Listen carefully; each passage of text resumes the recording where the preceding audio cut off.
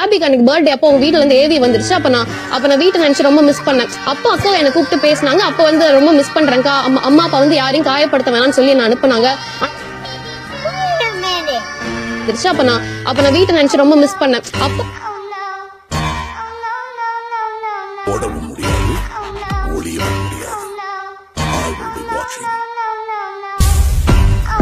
அட வெக்கம் கட்டுவீங்களா? இதுக்கு எதுக்குடா வெள்ளையங்கிலி மாலையன்னு மானம் கெட்ட அயோக்கிய பள்ளிலாம் புழப்பத்தை புழுத்த வழி